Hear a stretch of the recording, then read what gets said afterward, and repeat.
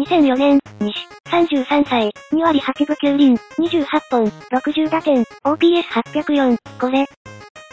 やたら人気あったよな西、小柄なセカンド、でもパンチ力あるし足早いし守備良い。ラビット全盛期出し決出度だと見た目ほど強くなさそう。今じゃ2割8分、10本くらいでも強打者だもんな。ほんま飛ばんボールをもんないわ。なお西以降の巨人のセカンド。出塁率は3割前後なのにな。